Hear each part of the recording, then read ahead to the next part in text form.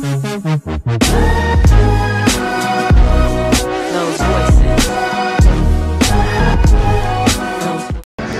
going on YouTube? I have eight tips and eight mistakes that are commonly made when it comes to squatting. I'm gonna go show ahead. I'm gonna go ahead and show you how to avoid. So starting off with number one is the knee valgus.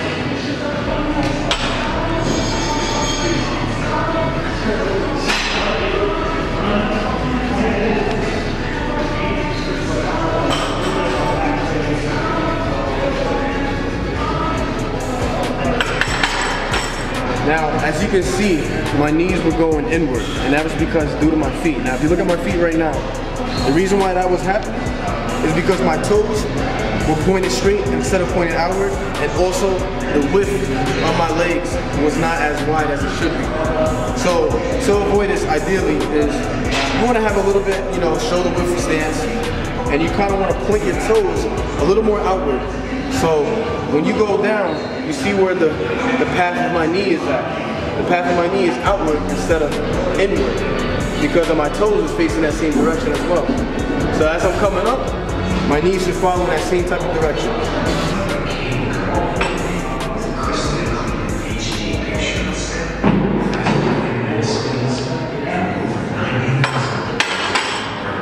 Alright, with that one that was pretty obvious.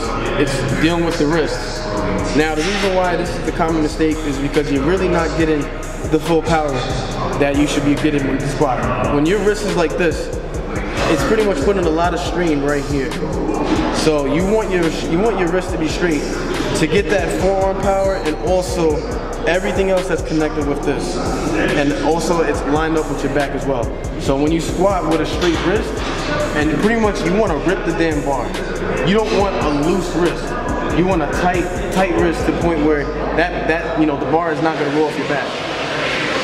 That is a that is a real common mistake that people do is they squat like that. Now, if you really want, I want I don't want to say a boost, but if you really want to help with your squat, you want to have a nice straight wrist.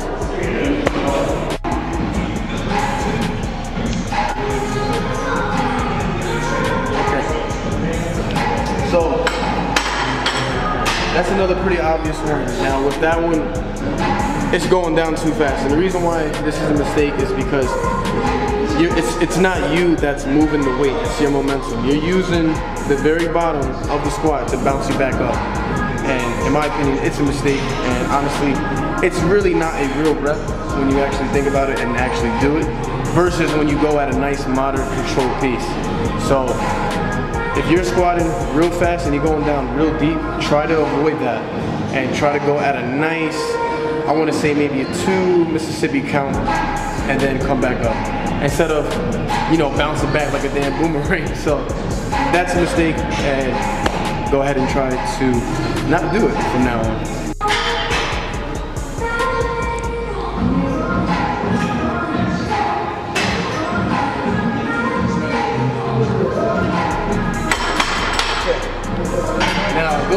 Those are what I call big squats or quarter squats. Now, just, I shouldn't even have to explain or, you know, try to show you how to avoid that because that should really be self-explanatory.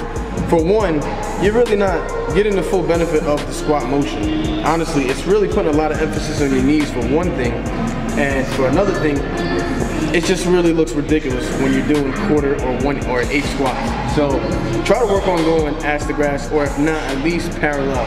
Trust me guys, you will benefit a lot by going at least parallel. And then, you know, if you can break that barrier from parallel to ass to grass, go ass to grass because I promise you, it will feel a lot better and you will see a lot more growth. And to go ahead and show you, pretty self-explanatory. If you can go here, that's fine. But if you can go here, that's even finer. So, no more of this. No more big spots. You want to go at least parallel. But if you got bulls, go ass to grass.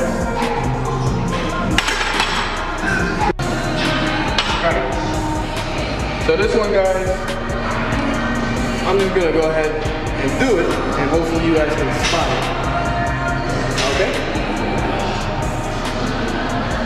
Watch out, because I'm going, I'm going quick. All right, so what I'm doing wrong and what is a common mistake is a lot of people they break at the knees first. And what I mean by that is the knee bends before you break at the hips, which is what you're not supposed to do. So this is what you're not supposed to do. Watch my knees. See how my knees move first before my hips do? You don't want to do that because it's putting a lot of stress in and it's emphasizing on your knee a lot. It's putting all the weight on the knees right now. So what, instead what you want to do, if you want to get on the side of me right now. So what you want to do is watch my hips. My hips are going to break first and then my knees are going to follow. So what you want to do is you want to push your butt out. You see how my, my hips broke out more? My hips are breaking before my knees are bending. So then once you do that, then you can proceed with the squat. Just like that. Okay. Alright, so this one guys is having a loose back. And what I mean by that is you want everything tight. When you're preparing for the squat, you want everything tight, meaning from the traps, your scapula, you want every you want your scapula retracted first. But as far as muscles, you want to incorporate all the muscles you can with the squat. So I'm gonna go ahead and show you what a loose back. I'm gonna do the best that I can show you what a loose back looks like. So,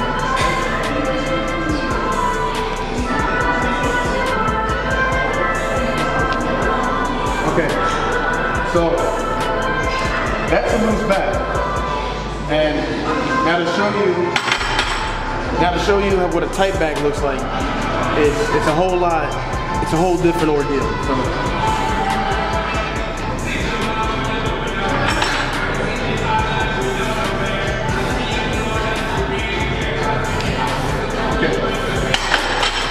So as you can see, I've retracted my scapular utilize my traps because I'm a high bar squatter. Low bar might be a little bit different since I'm not a low bar squatter. Uh, maybe the same type of steps, but as far as high bar, uh, since I rested on my traps, you want your traps to be really, really tight and contracted because you got to keep in mind when you're squatting a lot of weight, it's all being rested on your back. So you want stability. You want, you know, you want to be stable as possible.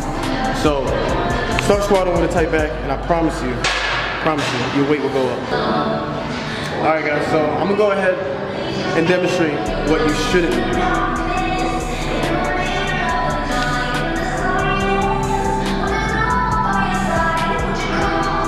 All right, so what I wasn't doing, I wasn't breathing.